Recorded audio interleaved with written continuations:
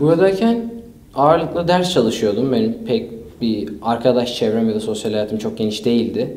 Ve Kanada ile ilgili umutlarım çok yüksekti ve karşılığını buldum. Çünkü ders yani her şey çok değişik. Okul eğitim sistemi çok değişik ve çok yararlı buldum bunu. Çünkü size bir, bir zaman dilimi sunuyorlar kendi başınıza değerlendirebileceğiniz. İnsanlar çok farklı, çok dost canlısı. Çok rahat alışıyorsunuz. Hem derslerinizi yürütebiliyorsunuz hem sosyal hayatınız genişliyor ve beklentilerimin de ötesindeydi benim için Kanada. Çok mutluydum. Bu geçirdiğim iki yılda çok sosyal bir insan oldum. Çok arkadaş edindim. 20'den fazla ülkede arkadaşım var. Çat pat onların dillerini konuşmayı öğrendim.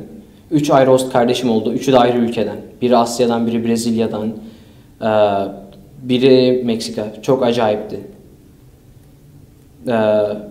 Bu Türkiye'deki yaşantımın çok değiştiğini hissettim. Yani Türkiye'ye döndüğümde başka bir Efe'ydi. Ben Kanada uyum sağlamıştım. Oradaki arkadaş çevrem gibi. Her şeyim değişmişti. Çok daha pozitif bir insan oldum.